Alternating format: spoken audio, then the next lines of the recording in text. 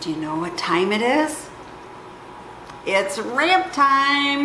That's right. These gorgeous ramps. Look at how beautiful they are. I went in the woods today and got them. And you know what?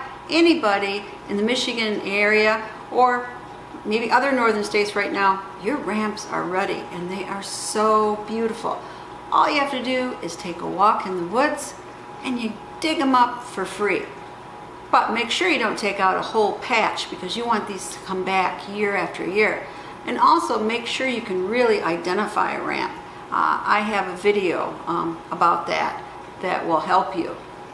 But these are so delicious. So I had read about a state, I think it might have been West Virginia, and they actually have ramp festivals where they make a whole bunch of dishes just with ramps. And I thought, I think I will have my own ramp festival. So for my husband tonight for dinner, I had a ramp trifecta. Honey, lemon, ramp, roasted chicken.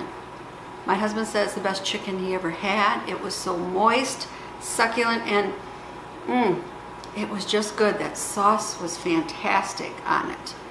And then I made ramp and bacon fried potatoes. I should have used more ramps though, and next time I will, because the bacon overshadowed it a little bit. Still good, but for me, not rampy enough. And then my final thing was I made ramp drop biscuits.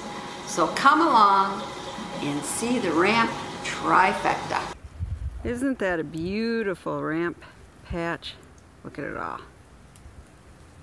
It's really not too far of a walk in the woods near my house. And now I'm going to be harvesting some of them. Here's my bag full of fresh ramps.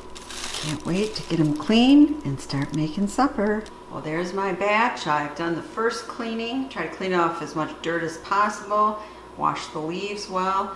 I'm letting them drain a bit. And then I'm going to be cutting off the roots. First, I'm going to separate the ones I need for the recipes today. And the rest, I'm going to prepare for my dehydrator. Our main course features a recipe from milkandmode.com and it's entitled Roast Chicken with Ramps, Lemon, and Honey. Let's get out our ingredients we'll need for our main course, the roast chicken with ramps, lemon, and honey.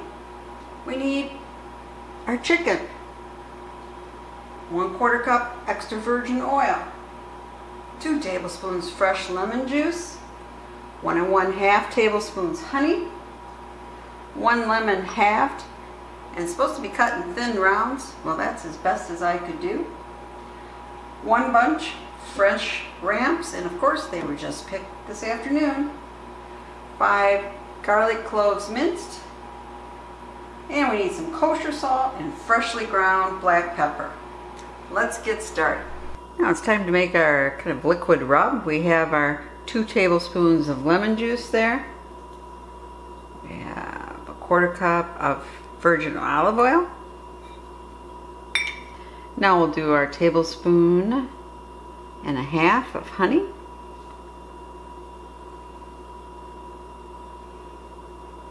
Ah, looks so good, doesn't it?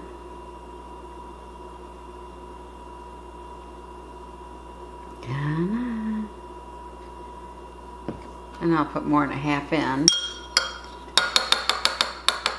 Now, don't be afraid to use your finger, and I'll explain why in just a little bit here.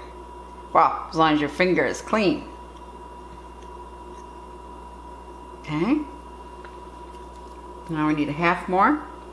A little bit more than a half because I didn't quite fill it all the way up for the tablespoon. There we go. Taking some squeezing action here. There we go. Yeah, that's good. Okay? And again, don't be afraid. Just get it all out. And now you want to take your whisk and you're going to whisk this up. Whisk it really good. Just want to mix that honey all into it. Okay, let's see how it's darkening up a little in color? Go. Yeah, That's pretty good. Drain that.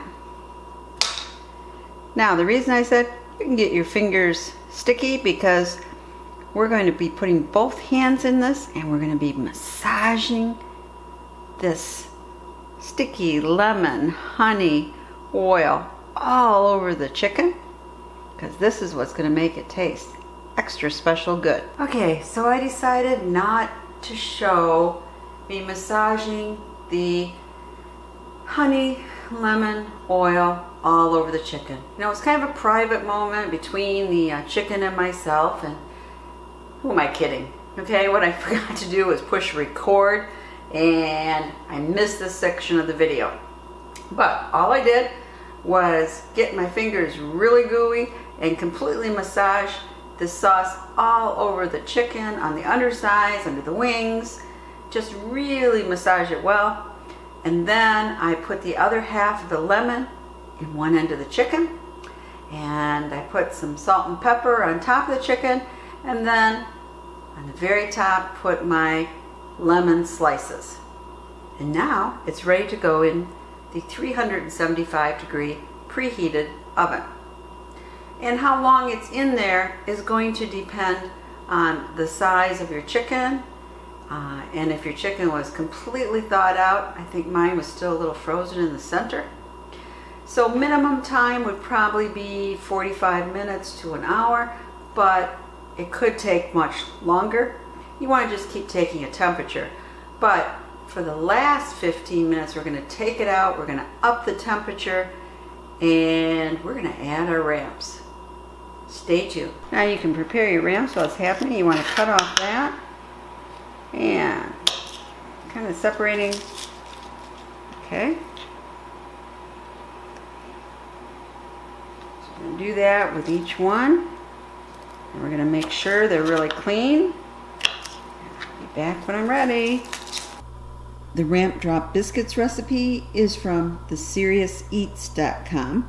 For our biscuits, we want about 12 ramps with smaller bulbs and we are going to take off the ends just like before and slice up the bulbs and then have narrow strips for the leaves and this is for our drop biscuit. Now we have to take the leaves here.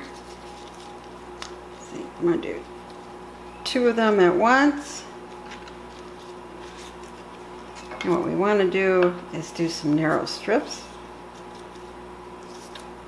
hold it kind of firm there.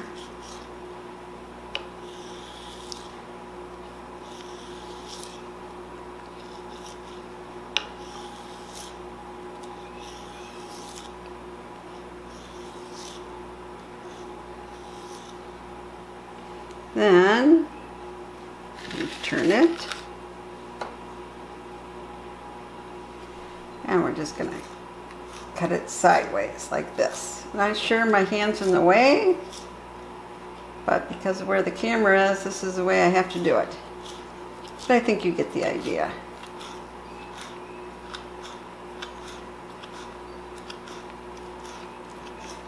Oops.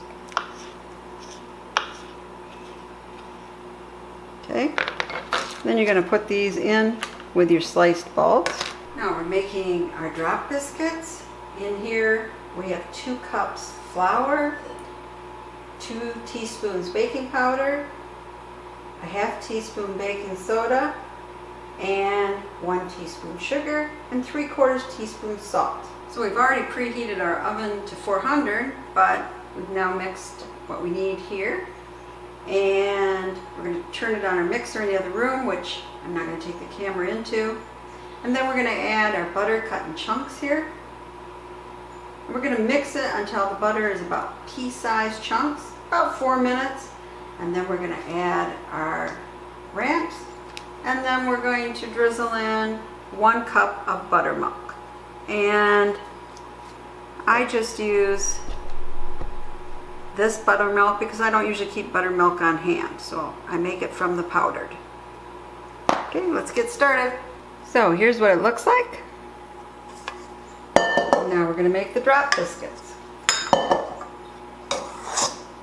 So we want about a half a cup. Just drop it in.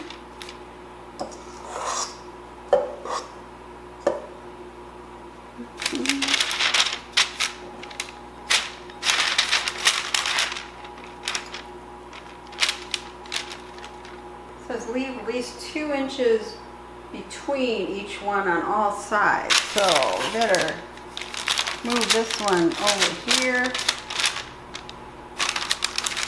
over here, over here.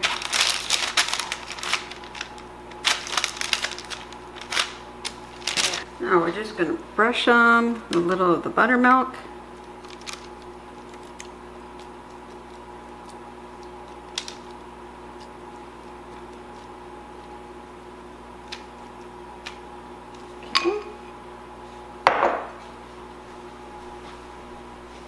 Now add a little pepper on top.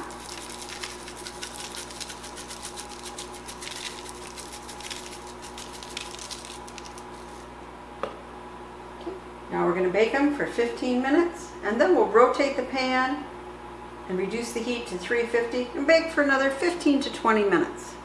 And ramp potatoes recipe is from allrecipes.com. And links to all three of these recipes are down below. I've peeled and sliced six medium potatoes. See? They're in water. I'm going to cover this, bring the water to a boil, and then turn it down to medium for about 10 minutes.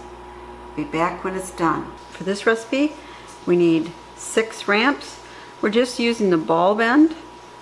Uh, the leaves here, I'll dehydrate so I can use them later. But just like before, we're cutting off roots, making sure that kind of slimy wrapper is off, and then we're gonna slice them in slices. Be back when that's done. Now our potato slices are coming to a boil. We want to prepare our bacon. So we have five slices of nice bacon cooking in our pan.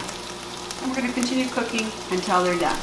Our bacon is nice and crisp. We're going to let it drain and we're going to keep that bacon fat in that fry pan because we need it for the potatoes. Now we left our bacon drippings in there, but it isn't enough. So I'm adding some of my own saved bacon dripping here. We want about two tablespoons.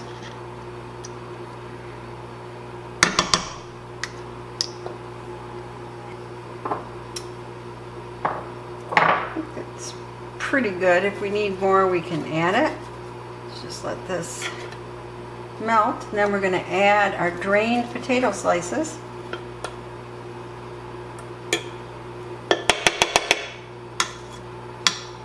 This on pretty high heat in our potato slices.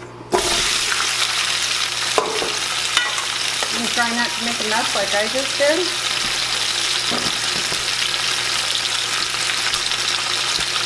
Now we're going to be frying these up till they're golden brown. And that can take about 15 minutes. While our potatoes are cooking on the stovetop, it's time to prepare the ramps for the chicken. And we're going to just take our bunch of ramps, prepare it like I said before. You're going to be cutting slices of the bulb and just tearing off pieces of the leaves. So I've washed the leaves again and now I've torn them into uh, medium pieces. And then I sliced up the bulbs. And just make sure that you get that, oh, like oniony wrap eh, off it because that's kind of slimy and you don't need that. So you want to make sure you pull it off all the bulbs first. So we've added our ramp cut up leaves, our actual ramp cut up bulbs, and our garlic. And now we're going to put it back in the oven and we're going to increase the temperature to 425 for about 10 to 15 minutes. Okay, I've added the bacon bits and the ramp bulbs. Potatoes had cooked for maybe about 12 minutes. Now we're going to want to cook this about another maybe five, six minutes until the ramp bulbs get tender. And I'm going to add some salt and pepper while it's cooking.